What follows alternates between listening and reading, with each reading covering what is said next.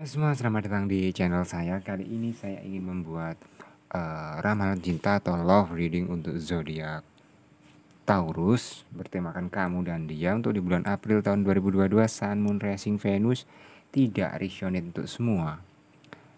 Taurus di luar sana mungkin hanya resonate untuk sebagian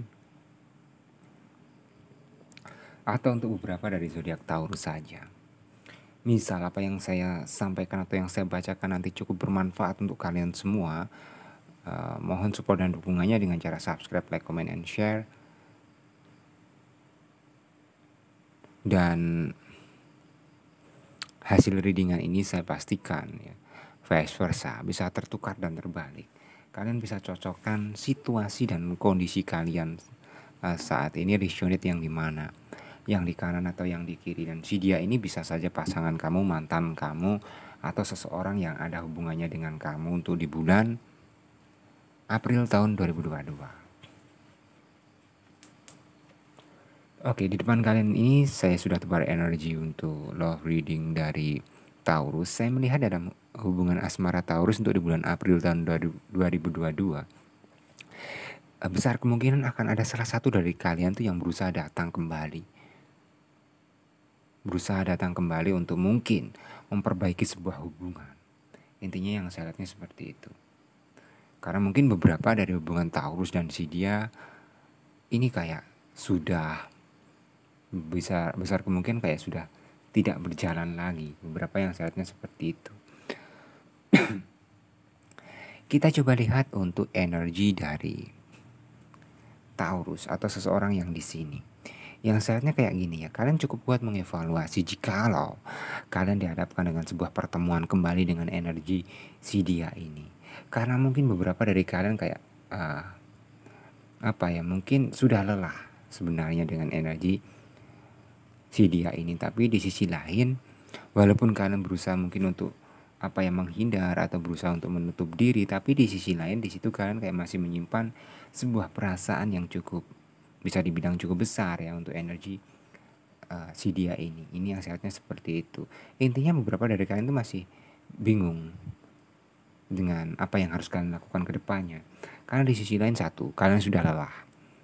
Kalian sudah capek dengan mungkin perlakuan atau sifat dari karakter dari si dia ini. Tapi di sisi lain, ya secapek-capeknya kalian saya melihat ada celah kayak di situ kalian masih menyimpan sebuah perasaan dan tuh bingung untuk ke depannya mau seperti apa antara menerima atau tidak sama sekali.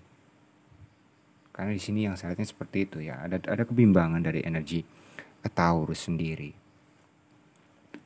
Kalau kita lihat dari energi si dia untuk Taurus saya melihatnya kayak gini ya. Uh, untuk di bulan April tahun 2022 akan ada sebuah pergerakan dari energi dia ini untuk kalian. Dia akan berusaha datang dan akan berusaha mengungkapkan sebuah ungkapan pernyataan dari hati dia untuk kalian. Besar kemungkinan di sini yaitu tadi dia ingin kembali untuk menjalin sebuah hubungan. Dia akan benar-benar memperjuangkan uh, apa yang dia inginkan untuk di bulan April tahun 2022 yang saya lihatnya seperti itu. Dia tahu loh sebenarnya kalau kalian itu sudah uh, mungkin berkurang secara perasaan dan respek kalian dia tahu. Makanya dia akan berusaha tunjukkan uh, ketulusan atau keseriusan dia untuk kalian yang kali ini yang sehatnya seperti itu. Kayak saya melihat di energy major nih ya salah satu dari kalian tuh sudah menentukan membulatkan tekad untuk datang atau untuk uh, memperbarui sebuah hubungan yang mungkin bisa dibilang sudah berakhir atau sudah tidak berjalan lagi.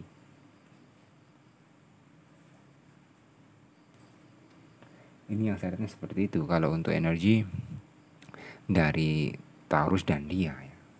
Tapi eh, perlu diingat ya, karena ini bisa bisa vice versa. Nanti saya baca di sini energi untuk Taurus ternyata ini energi dia begitu juga sebaliknya. Kalian bisa cocokkan situasi kondisi kalian. Nah, ini yang sehatnya seperti itu. Misal kalau memang benar dari kalian tuh yang satunya kayak masih bingung, yang satunya kayak benar-benar uh, ingin apa yang memperjuangkan sebuah hubungan. Nah, sarannya di sini untuk kalian tepatnya untuk seseorang yang bisa dibilang capek ya ini tergantung dari hati dan pikiran kalian kalau uh, secara pikiran kalian sudah mungkin lelah atau benar-benar sudah tidak sanggup lagi untuk mempertahankan hubungan, ya kalian bisa akhiri ini semua.